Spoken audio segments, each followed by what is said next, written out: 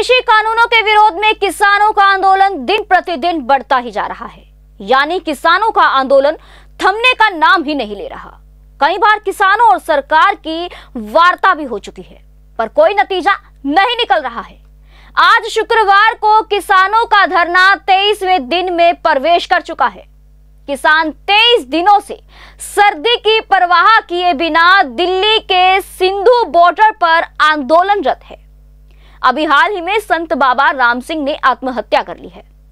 बताया जा रहा है कि किसानों की समस्याएँ सरकार द्वारा ना सुलझाने पर वह बहुत दुखी हो गए और उन्होंने यह कदम उठा लिया है।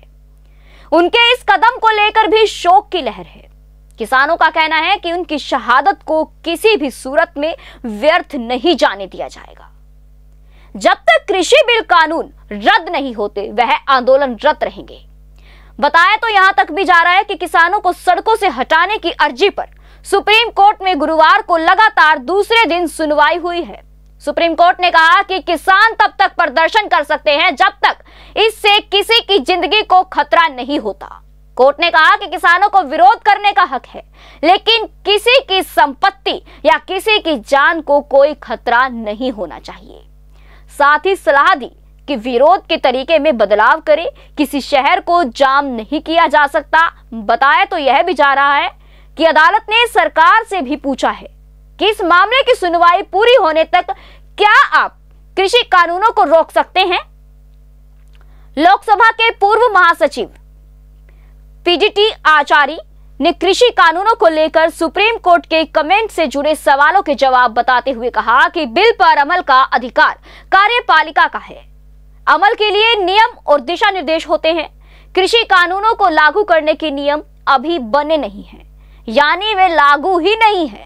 तो फिर उन्हें रोक कैसे सकते हैं? खैर, अब यहाँ कुछ भी हो, दिल्ली के सिंधु बॉर्डर पर किसान पिछले कई दिनों से आंदोलनरत है। किसानों का कहना है कि वह अपने आंदोलन को किसी भी सूरत में समाप्त नहीं करेंगे। वह कृषि कानूनों को रद्द करवाकर ही दम लेंगे।